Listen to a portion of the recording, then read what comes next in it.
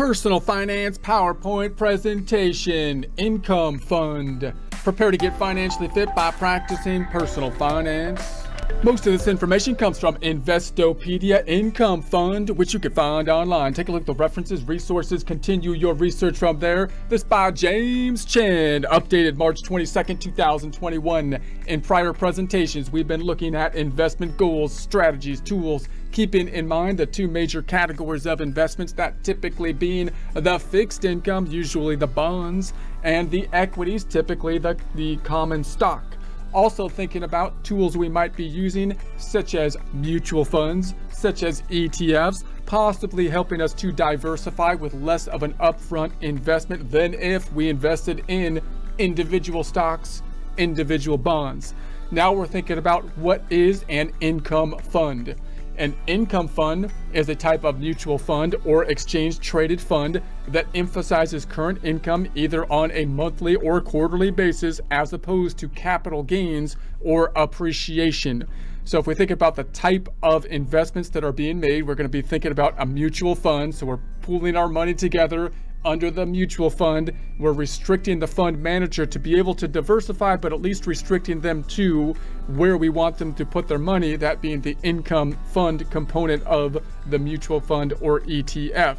If we think about the types of companies they're putting their money in and their business cycle, for example, remember that here in the business cycle, that would be the kind of the growth area. Some companies go through this kind of growth area where we would expect them not to be paying out dividends as much there because they're trying to hold on to their money, put it back into the business, buy things like property, plant, and equipment, which we're hoping will generate future earnings and therefore be reflected in the stock price when you're talking about more established companies then that have already have their infrastructure in place they're not buying a whole lot more stuff in comparison to their overall size at this point in time you would expect them to have and take their earnings such as a utility companies or a phone company that already has the phone lines up for example and give it back to the owners in the form of dividends dividends to us as the owners would be the income. So that's the type of fund we're looking at. Usually these are the kind of funds that we want to be more heavily weighted towards when we're closer to our, our end goal, say retirement, for example, because we might be living off of the income of the income fund as opposed to, to trying to have them grow the company, for example, at that point. Okay, such funds usually hold a variety of government, municipal, and corporate debt obligations, preferred stock, money market instruments, and dividend paying stocks. So if we're thinking about income, let's pretend we're in retirement. We've got our, our nest egg is tucked away. We don't really want to uh, tap into the nest egg itself, but we'd like it to just grow and we live off the earnings of it. So we might say, okay, well then they might have government or municipal uh, debt instruments like bond, uh, for example, and bonds pay interest. So if they pay us interest, then we can live off the interest, and that would be great.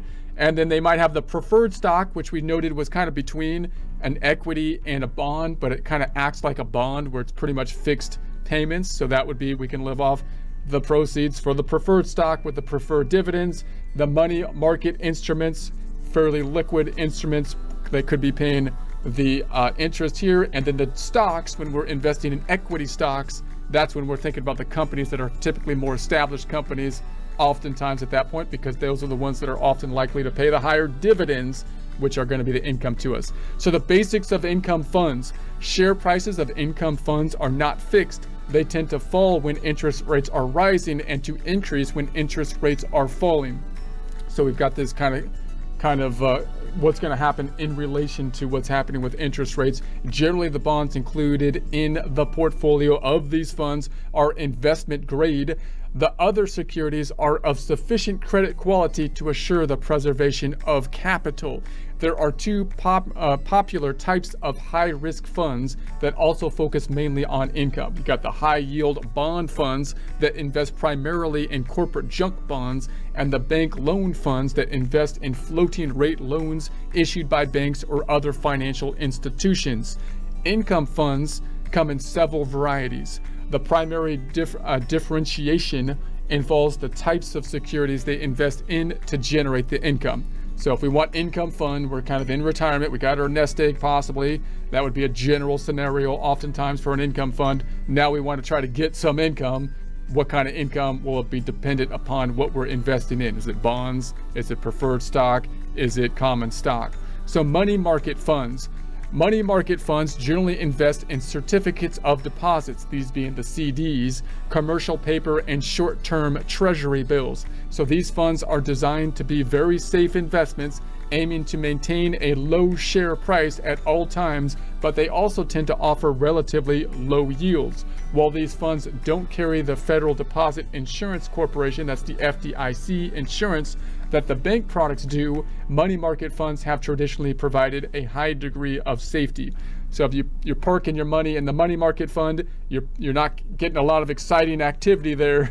you know, even for a fixed income, you're probably not going to get uh, you know a lot of the interest on that type of investment, but it's a fairly safe investment. Now, if you put your money in the fund, you might not have the capacity to get that Federal Deposit Insurance Corporation. If you put your money in actual CDs within a bank, for example, and you might stagger the CD, uh, the CDs that you're holding in, in a bank, uh, so that so that the maturity dates are staggered and, and that kind of thing, then you you might be able to get a little bit more security in the event that there's like a run on the bank or something like that with the Federal Deposit Insurance Corporation. Although you do have diversification with the funds because they're investing in multiple different kinds of funds. So when you're thinking, and also just note the ease that it would be to take the money out of a money market fund versus uh, parking the money in like a, a CD where you might have to keep it in there or be penalized if you were to take it out. So there are pros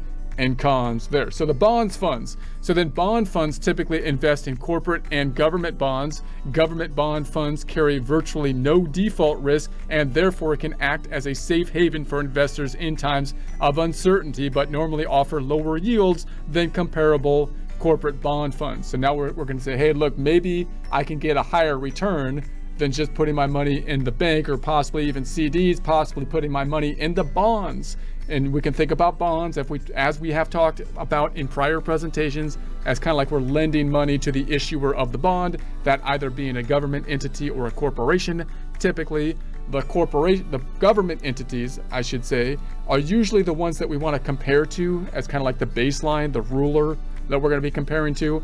Because uh, if we're talking about us government bonds they can basically print money or tax people. So you would think it's almost impossible for the government bonds to be defaulted on, meaning they don't pay them because the government went bankrupt or something. So the risk there is very low. That means also, however, that if you invest in the government bonds, that you're not going to get as big a return because the risk is so low. And then if you look at corporate bonds in comparison, you'd say even the large corporations would be more risky than putting my money into government bonds who can basically print money to pay off the bond if they really needed to. So you would expect the corporate bonds to have higher interest rates. Now, if we're living off the bonds, we want to have as low risk as possible. We would like to have all our money in the government bonds in that case, or much of it so that it would be low risk, but we're not going to get as big a return. If we want the higher returns, then we might be going into more corporate bonds that might have a higher returns or foreign, you know, government bonds and so on that might give us a higher return, which is what we're trying to live on because we're imagining kind of we're in retirement, living on our nest egg here with the, with the money coming from it. So corporate bonds carry the additional risk that the issuer may not be able to make principal or interest payments. As a result, they tend to pay higher interest rates to account for the additional risk. Corporate bond funds can be split into investment grade bond funds and below investment grade or junk bond funds. Equity income funds, many companies pay dividends on their stocks. And now we're on the stock side of things. So if we're on stocks and we're in retirement, we're trying to get some money here. We want our nest egg to give us salaries, so like a money so we can spend on our food. So we want the stocks that are going to give dividends. Funds invested primarily in stocks that pay regular dividends are known as equity income funds. So those are typically the more established ones, right? So these types of funds are especially popular among retired aged investors that look to live off the predictable monthly income generated from their portfolio, right? So I want my dividend fund to come in and I'm going to get that midday special at the, the local restaurant with it. So historically, dividends have provided a significant percentage of a stock's total long-term return. Other income funds, other income producing funds includes those focused on real estate investment trusts, those being the REITs, R-E-I-T-S, uh, master limited partnerships, those are the MLPs, and preferred stocks. So example of an income fund, you got the T Rowe Price Equity Income Fund has 17 dollars and 51 17.51 billion dollars I mean in net assets as of Q1 quarter 1 2021 and seeks a high rate of growth through high dividend paying stocks in combination with capital appreciation. The fund, which distributes payouts quarterly, paid a dividend of 18 cents per share on December 14, 2020. The fund was performed relatively in line with its benchmark an investment of $10,000 in the T Rowe Price Equity Income Fund at in inception in 1985 would be worth around 24 I think there's an added zero here. I think it should be 24,500 about as of February 28, 2021. The Lipper Equity Income Fund's average result for the same amount over the same period would be about 25,150.